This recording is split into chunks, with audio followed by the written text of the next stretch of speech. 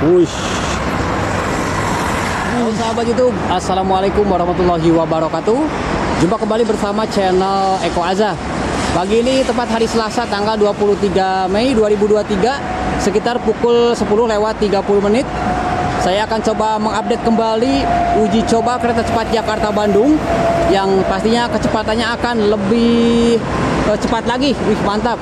Tuh treknya terpantau lumayan cukup luas dari lokasi ini nanti akan muncul dari arah timur tuh dari arah uh, stasiun Tegaluar.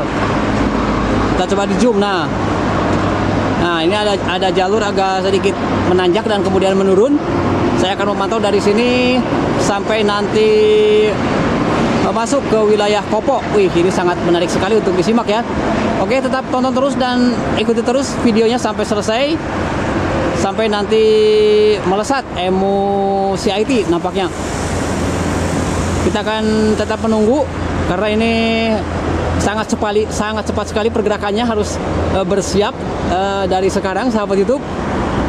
Belum terlihat ya karena ini uh, agak sedikit berkabut. Mudah-mudahan saja bisa terpantau.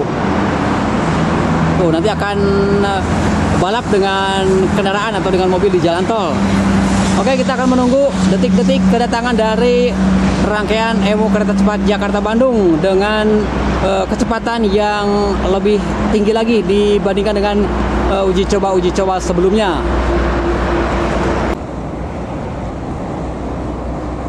Oh, ini ada kereta teknis melintas dari arah barat ke arah timur di jalur 2.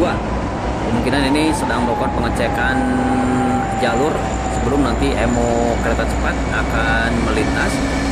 Namun informasinya pagi hari ini atau siang hari ini emo melintas di jalur 1, sedangkan ini kereta teknis di jalur 2 nih. Oh, ini juga kelihatan sangat kencang sekali. Oke, kita akan tetap sabar menunggu kedatangan dari rangkaian emo CIT yang akan tes run dengan kecepatan yang lebih tinggi lagi.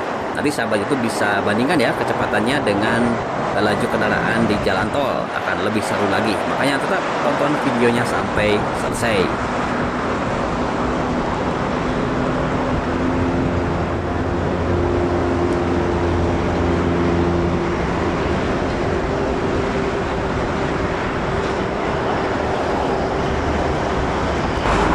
Nah, sahabat YouTube sudah mulai terlihat tuh rangkaian EMU kereta cepat Jakarta Bandung. Nah, ini EMU CIT sudah mulai memasuki wilayah Kopo. Wih, mantap. Kita harus oh, tetap mengikuti pergerakannya ini. Aduh, agak grogi gini nih. Masih terhalang pohon. Nah, nanti akan muncul di sini nih. Sudah mulai terlihat ya, ini kecepatannya sangat tinggi sekali. Kemarin 150 sampai 180. Kemungkinan ini, nah ini nih. Tuh.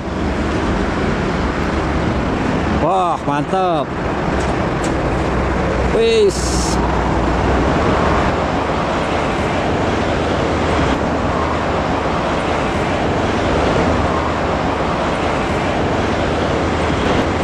Uh, mantap. Makin mendekat.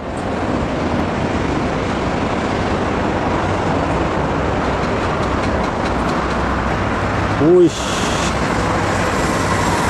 Wush.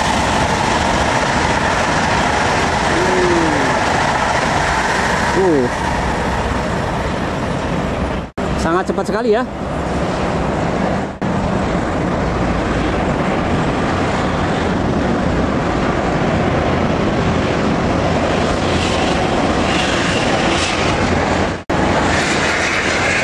Sudah menghilang hanya beberapa detik saja. Oke, mantap. Wih. Oke sahabat YouTube, nanti saya akan coba memantau dengan pantauan udara ya saat kembali dari Halim. Makanya tetap ikuti terus dan uh, tonton terus channel Eko. Jangan lupa like, komen, dan subscribe channel ini untuk terus mendapatkan informasi dan updatean terbaru seputar uji coba kereta cepat Jakarta